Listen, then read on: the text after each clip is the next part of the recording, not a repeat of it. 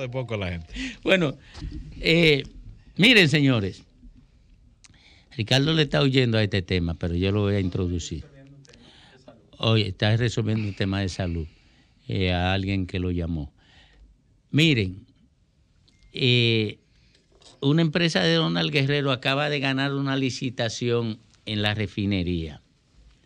Una empresa de, de grúa. Y es una empresa donde él está asociado con uno de los hermanos modestos.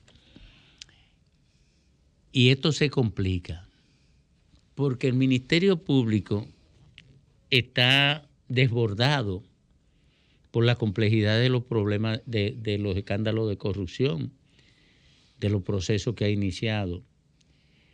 Y ahora Donald Guerrero está pidiendo que se levante eh, que se le permita viajar a España.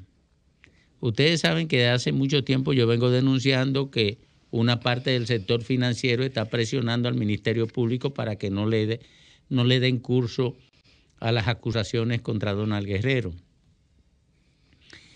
Donald Guerrero está, permitiendo, eh, está pidiendo que se le permita viajar a España. Acaba de ganar una licitación en en la, en la refinería dominicana de petróleo con una empresa de grúa de la que él es socio. Y uno de los funcionarios ratificados por Luis Abinader del gobierno pasado es de los funcionarios que está presionando de este mismo gobierno, presionando para que no se le dé curso al proceso contra Dona Guerrero. Mire cómo lo complejo que es esto. Donald Guerrero gana una licitación. Una comisión del sector financiero va y visita a Miriam Germán para que no se le dé curso al proceso contra Donald Guerrero. Los abogados presionan para que se le entregue la carpeta de indicios o acusaciones de que, que lleva la investigación. Donald Guerrero pide que se le permita viajar a España porque se casa un hijo de él. Y hay sospecha de que él se quedará por allá sin casarse él. Y hay un funcionario del gobierno que pertenecía a la administración pasada y que fue ratificado en su puesto por esta administración, que está accionando hacia adentro del gobierno para que no se, no se le dé curso a la acusación contra Donald Guerrero. Oigan, cuántas cosas en un solo círculo de una acusación, porque aquí se cree que la élite puede llevarse de encuentro, se puede llevar de encuentro la ley y no debe pasar nada.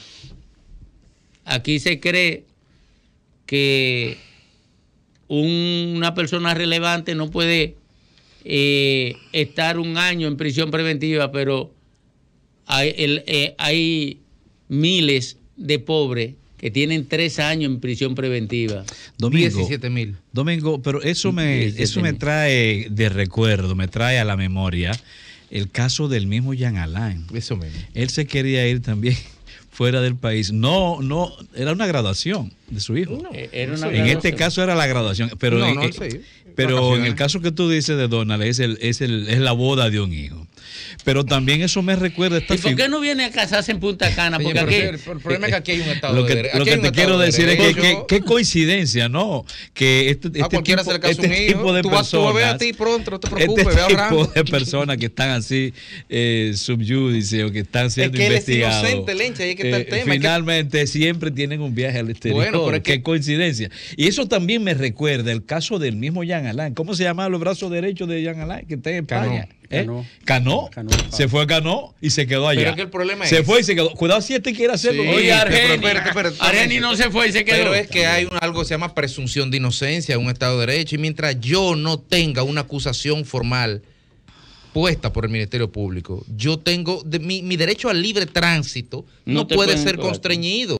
Entonces, Donald Guerrero no, nos gusta, no, pero es que, no podemos ponerle impedimento gracias, eh, eh, por gracia si no hay una acusación ya puesta o hay un peligro de fuga sobre la base de una acusación ya inminente. Pero este señor, quizás el Ministerio Público va a ser presa de su propia ralentización en los procesos, porque no es incapacidad, es un tema de desbordamiento de trabajo y resulta que ante la inminencia de, lo que viene, yo puedo perfectamente decir, vengo ahora, coger mi pasaporte e irme, y no me lo pueden impedir, Lenchi. Yo quiero decir... O, se va a dañar el avión como se le dañó a Jean Alain cuando, cuando se iba a visitar a su familia, que tuvo que, volver a aterrizar. Qué, qué, suerte, ¿verdad? Qué yo, suerte. Yo, yo quiero añadir solamente un poco, porque creo que los dos han expuesto. Domingo ha soltado ese bombazo, y, yo vine se refiere a una situación que encuadra dentro de un Estado de Derecho. Que lo acusen, doctor, y ya. Empezaré por la última. Él no tiene un impedimento de salida. Él puede viajar donde se le venga en ganas, porque él no tiene un impedimento de salida.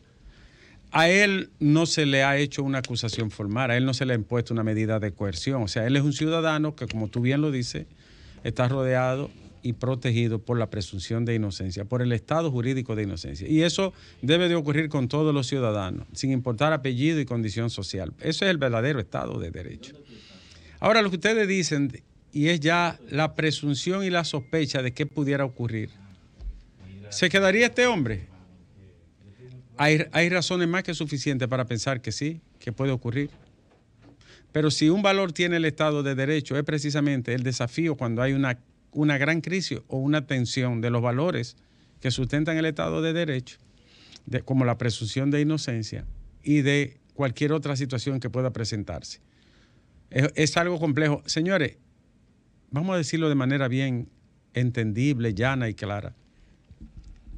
Por este caso, no, no son uno ni dos los que han desfilado tratando de entorpecer y de parar la investigación.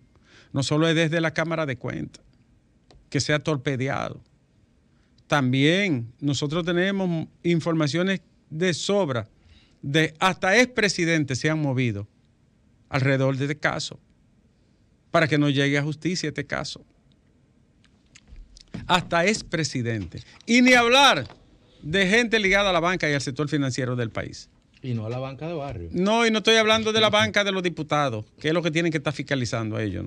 No, no, es eso. No, yo estoy hablando de banco, banco. Entonces estamos hablando de un caso de presunta mega corrupción, presunta hipercorrupción, donde hay hiperpoderosos. Pero, pero miren, ah, es así. La jueza Tomasina Tolentino era la directora de planificación del ministerio que tenía Donald Guerrero a su cargo. Tomasina Tolentino ha generado esa crisis en la Cámara de Cuentas y es una punta de lanza de Donald Guerrero. Oigan, oigan lo que estoy diciendo. Esa crisis de la Cámara de Cuentas la ha generado una subalterna de Donald Guerrero. Y lo digo con conocimiento de causa, porque yo estuve involucrado, como lo he dicho en otras ocasiones, en, en un proceso... De muchas discusiones. De muchas discusiones con ellos tratando de, armonizar, de ayudarlo a armonizar. O sea, no estoy inventándome cosas. Cuando yo acuso a, Tomasina Tolentino de eso, es porque tengo demasiadas informaciones. Y esa es subalterna de Donald Guerrero y generó, Donald Guerrero en la condición que está, generó esa crisis junto con Félix Bautista. Yo lo he dicho con toda responsabilidad. Félix Bautista usando a Elsa Catano y Donald Guerrero usando a Tomasina Tolentino.